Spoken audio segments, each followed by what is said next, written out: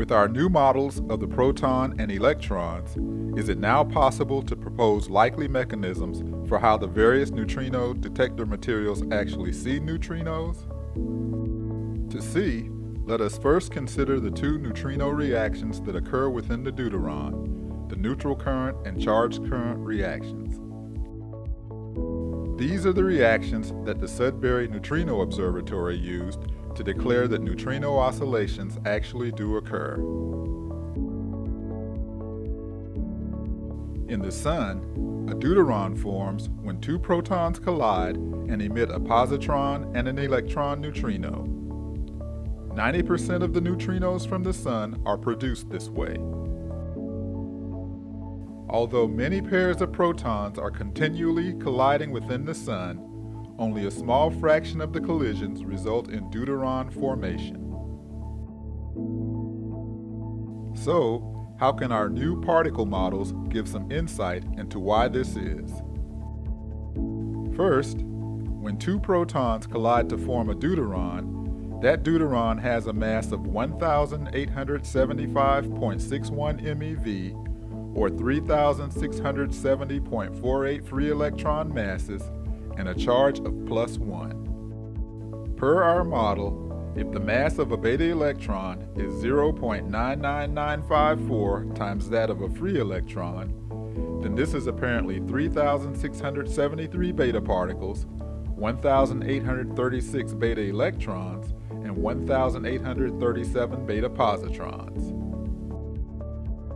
Since the starting two protons, each having a plus one charge and containing 1,837 beta particles, 919 beta positrons, and 918 beta electrons, together contain 3,674 beta particles and a plus 2 charge.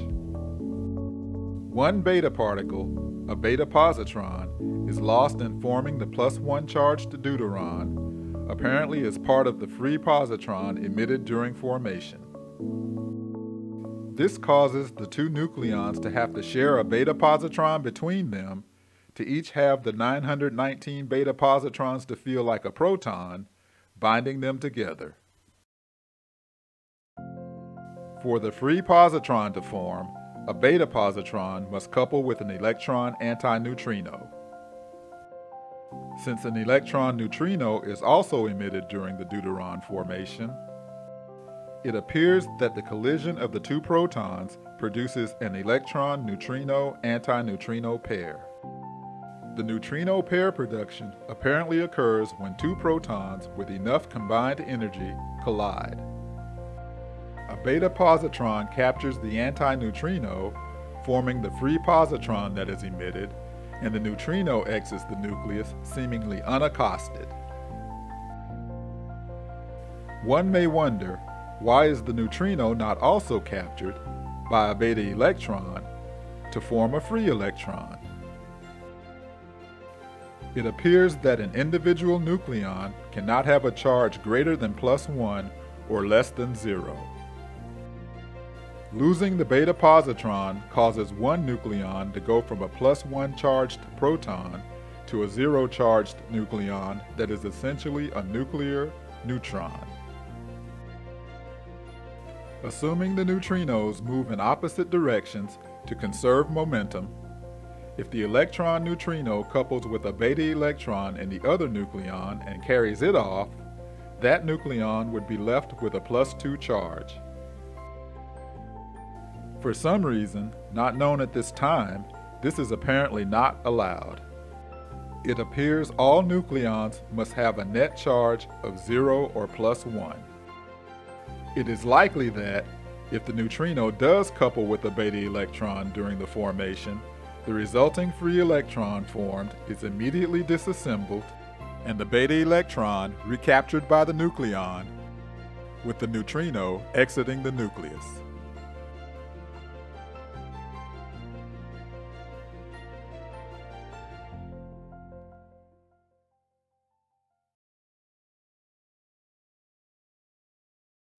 So, can understanding the interactions between neutrinos and the beta particles that occur during deuteron formation provide a workable explanation for what happens when electron neutrinos interact with deuterons?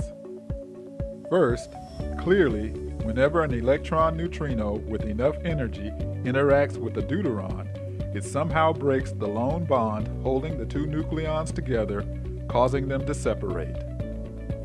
In addition to breaking the bond, apparently four other things can happen. In one scenario, the neutrino can interact with a beta positron in the neutral nucleon, the neutron, in which case it will just scatter off it but cause the deuteron to split into a neutron and a proton. In a similar case, the neutrino can interact with a beta positron in the positively charged nucleon, proton, and again scatter off it but break the deuteron up into a proton and a neutron. In a third scenario, the neutrino can interact with a beta electron in the proton of the deuteron. This may cause the two to momentarily couple and become a free electron. However, before it escapes, the newly formed free electron is disassembled by the nucleon and the beta electron recaptured because the nucleon, a proton, needs that beta electron to keep it from having a charge of plus 2. The neutrino is re-emitted and appears to have just scattered off the deuteron, which is broken up into a neutron and a proton as a result of the interaction. Finally, the neutrino can interact with a beta electron in the deuteron's neutron. The beta electron captures the neutrino to form a free electron. The newly formed free electron is allowed to escape the deuteron, transforming the neutron into a proton.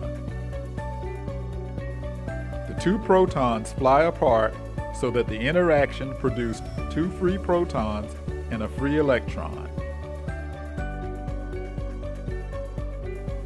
The neutrino vanishes after the interaction, now part of the free electron. Of the four scenarios, three of them resulted in a deuteron splitting into a neutron and a proton.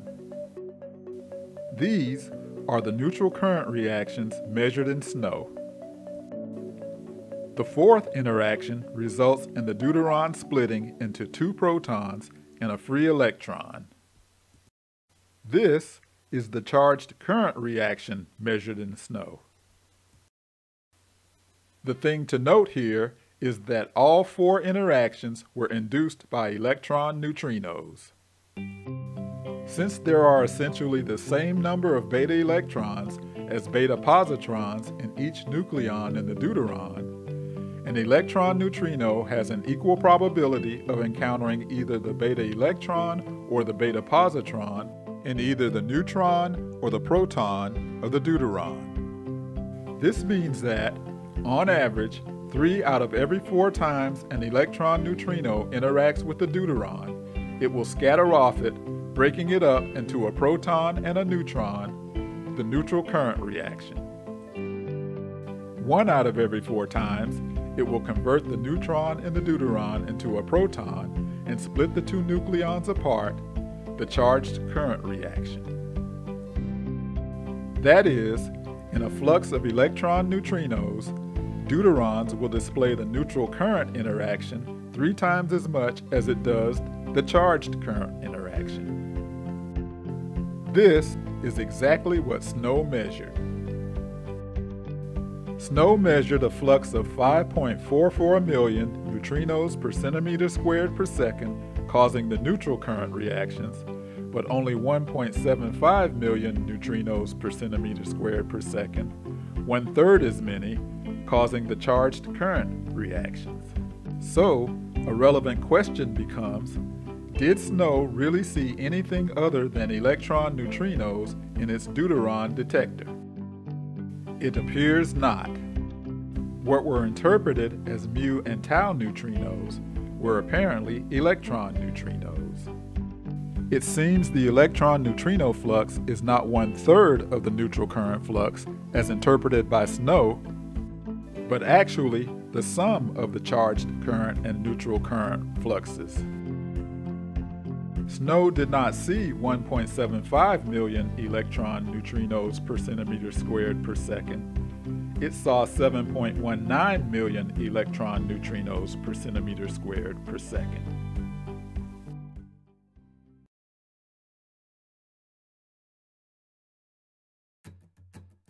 In light of reanalysis of the Sudbury data, it is useful to revisit the results of the other neutrino detectors. The two gallium detectors, GALLEX GNO and SAGE, both reported about 55% of the expected neutrino flux from the Sun. Those detectors relied on the neutrinos interacting with gallium-71 to form radioactive germanium-71. The gallium-71 nucleus has 71 nucleons, of which 31 are positive and 40 are neutral. The germanium-71 nucleus also has 71 nucleons, but 32 of them are positive. From the reaction, like the electron-neutrino reaction with deuterium in SNO, it appears the neutrino interacts with a beta electron in the gallium-71 nucleus to form a free electron. Once the free electron exits the nucleus, it leaves it with 32 positive nucleons, making it germanium-71.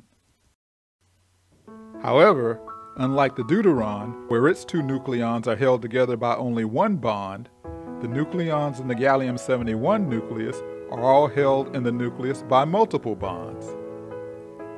Because of this, the neutrino cannot separate a nucleon from the nucleus when it interacts with the nucleus by breaking a single bond. As is the case with the deuteron, the electron neutrino can interact with a beta electron or a beta positron in the gallium-71 nucleus. When it interacts with a beta positron, it just scatters off it because it cannot couple with it to form a free positron. Only the electron antineutrino can do that. Since the neutrino cannot break up the gallium-71 nucleus, there is no indication that it scattered off it, as was the case with the deuteron. It cannot be seen. When the neutrino interacts with a beta electron in gallium-71, it can create a free electron and form radioactive germanium-71. This interaction can be seen. Assuming the neutrino can interact with any nucleon in gallium-71 with equal probability, it can interact with 31 positive nucleons and 40 neutral nucleons.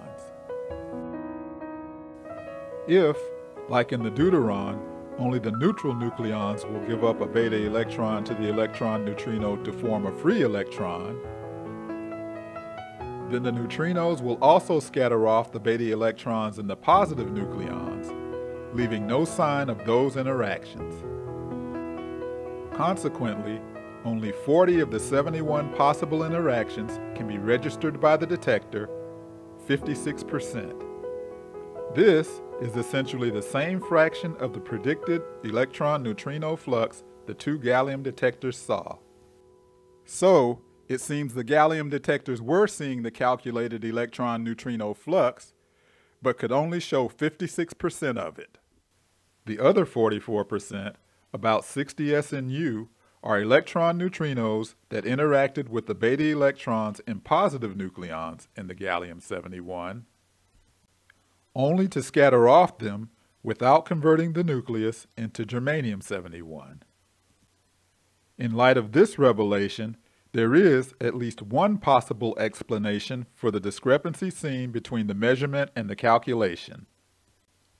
The cross-section used in the calculation likely assumed that any interaction between a neutrino and a gallium-71 nucleus would convert the nucleus into germanium-71.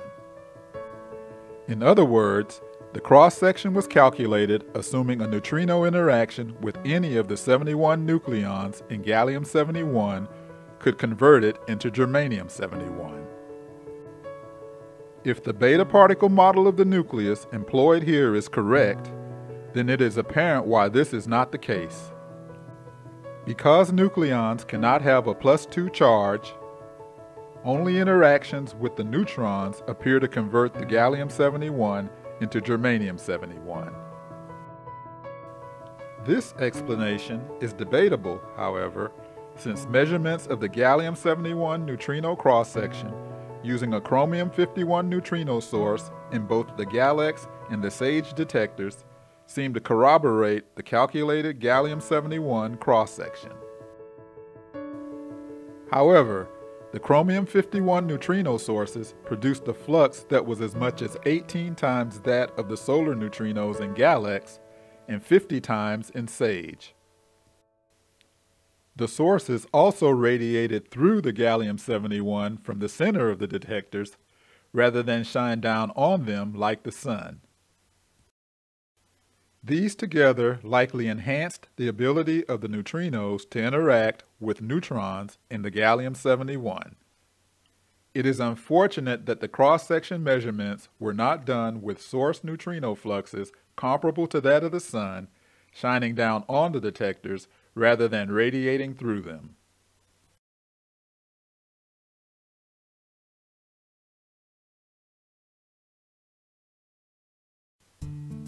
Since there are essentially an equal number of positive betas in a nucleon as there are negative betas, there should be an equal number of neutrino interactions with positive betas in gallium-71 as there are with negative betas. This means that, in addition to the 71 neutrino interactions with negative betas, 40 detected and 31 undetected, there must be 71 neutrino interactions with positive betas that are also undetected by the gallium-71 detector.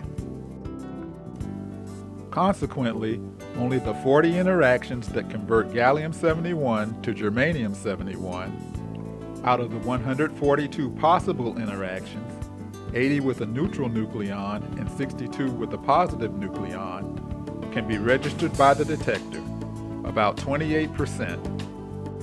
The other 102 interactions are like the deuteron neutral current interactions in SNO.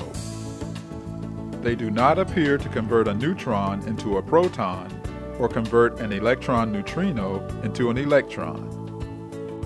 However, since they cannot break up the gallium-71 nucleus like the neutrinos did in the deuterium interactions, they cannot be detected.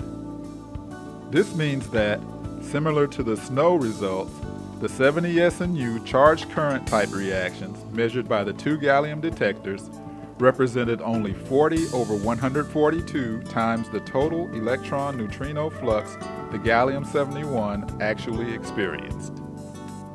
By considering the neutral current type reactions occurring not revealed by the measurement analyses, the gallium detectors were actually seeing about three and a half times the 70 SNU, about 248 SNU, nearly twice the calculated value.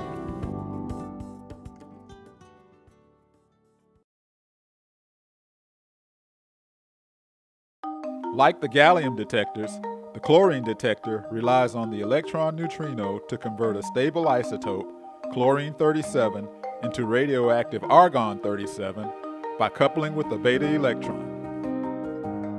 Since the reaction is similar to the gallium-71 reaction, one might expect a similar measurement result. There are 37 nucleons in chlorine-37 and 20 of them are neutral.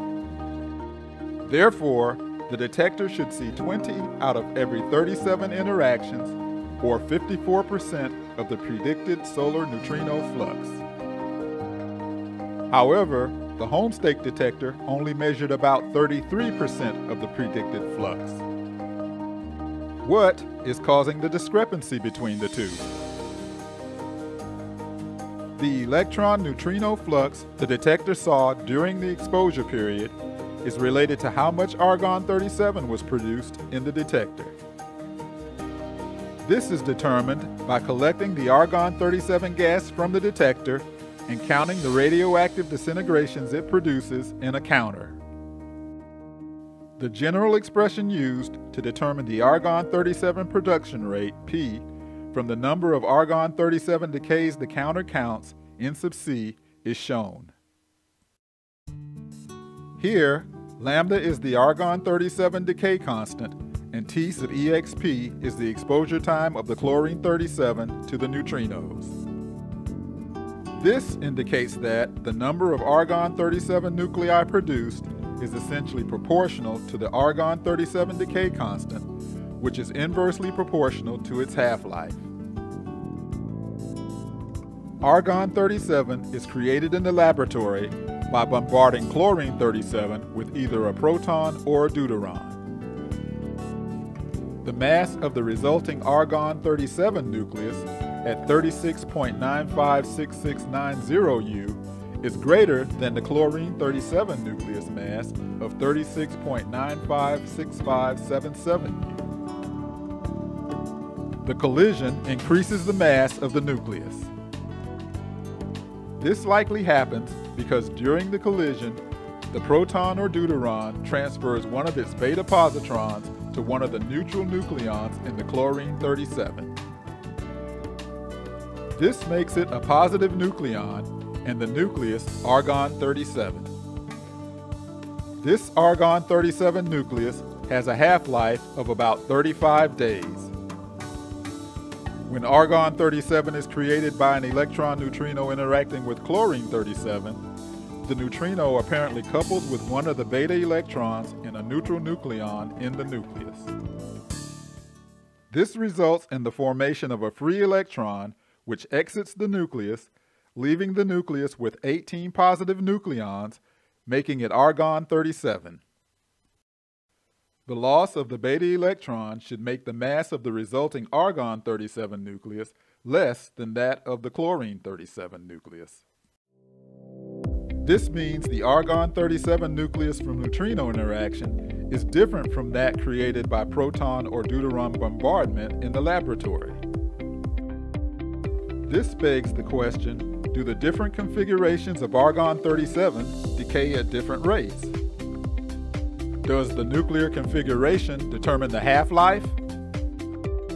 If so, then the neutrino flux value determined using the laboratory argon-37 half-life of 35 days is probably incorrect. If the half-life for the neutrino-induced argon-37 nuclei is shorter than that of the proton-deuteron-induced argon-37 nuclei, then its decay constant would be larger and the calculated argon-37 production rate would be greater. A look back at the Homestake experiment data may give some indication of this.